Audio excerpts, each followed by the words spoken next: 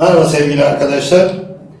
Bu videomuzda da Osmanlı kültürü ve medeniyetinde yer alan önemli bilim insanları üzerinde duracağız.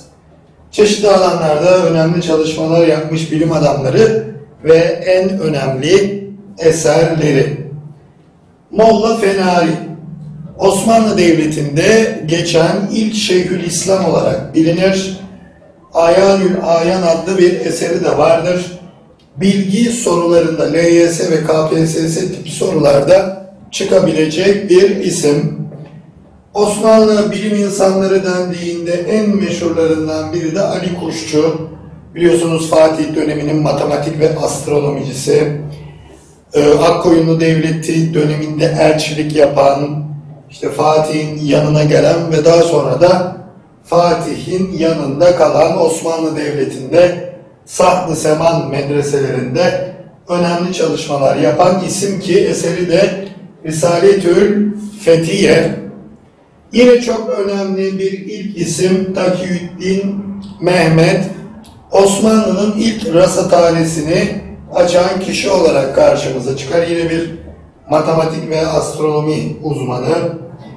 Yine Fatih döneminin çok meşhur cerrahlarından tıp alanında çalışmalar yapan Sabuncuoğlu Şerafettin ki eseri de Cerrahiye-i İlhay, İlhaniye cerrahi müdahaleleri de minyatürlerle canlandırmalı bir şekilde anlatmıştır.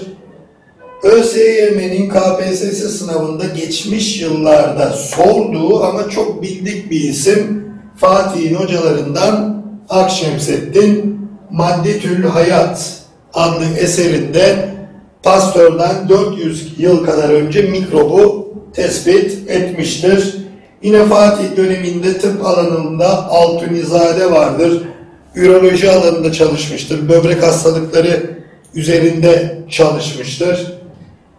Kemal Paşazade tarihçidir. Tevari Yağali Osman önemli eseridir. Müneccimbaşı Ahmet Dede 17. yüzyıl tarihçilerindendir. Saha İfül Ahbar meşhur eseridir. Kanuni döneminin meşhur minyatürcüsü matrakçı Nasuh ki kendisi tarih coğrafya alanlarında da çalışmıştır. Süleyman Name adlı eseri meşhurdur.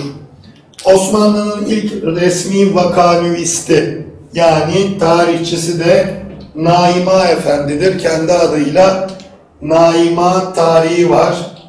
Hacı Çelebi olarak da bilinen Katip Çelebi tarih, coğrafya, biyografi alanlarında çalışmıştır. Keşf-i Züğün'ün coğrafya kitabı olan Cihan Nüma ve Fezlekesi meşhurdur. Lütfi Paşa yine meşhur tarihçilerden birisidir kendi hayatını anlatmış olduğu Asafname adlı eseri vardır.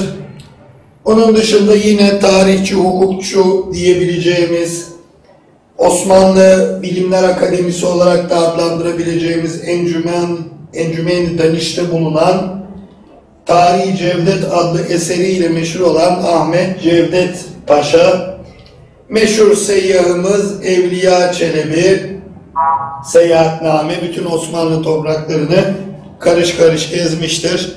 Çok e, esprili bir anlatımı vardır. Çok e, göz önünde canlandırılabilecek bir anlatımı vardır. Der ki işte bir adam gördüm, kafası bal kabağına benziyordu, burnu patlıcan gibiydi şeklinde insanın gözünün önüne getirebileceği şekilde anlatır. Coğrafyacılarımızdan, denizcilerimizden Piri Reis'in denizcilik kitabı Kitabı Bahriye, meşhur dünya haritası, Amerika kıtasını çizmesi ve eşkalnamesi vardır. Seyyid Ali Reis'in de yine Miratül Memalik ve Muhit Hint Deniz coğrafyasını anlatan eseri vardır. Son olarak da havalı Türklere bakalım. Yani uçan Türklere bakalım. Bunlardan biri Lagari Hasan Çelebi. Gerçi Hazarfan da 4. Murat dönemindedir. Lagari de Hatta Lagari'nin enteresan bir de hikayesi var. Anlatalım mı? Anlat hocam. Anlat anlat yoksa ağlar ha. Peki. Lagari Hasan Çelebi özellikle bu 4. Murat'ın kızı Kaya Sultan'ın düğününde e, roket gösterisi yapacak kendisi. Hatta 4. Murat'a demiştir ki ben İsa peygamberin yanına gidiyorum onunla konuşacağım demiştir. İndikten sonra da size İsa peygamberden selam getirdim demiştir. Böyle enteresan bir diyaloğun olduğu da söyleniyor. Bir diğer isim yine 4. Murat dönemi dedik Hezar Fen. Hezar e, bin demek, bin ilim sahibi Ahmet Çelebi. O da kartal kanadı, daha doğrusu kanat takarak, kartal kanadı dersek çok doğru olmaz.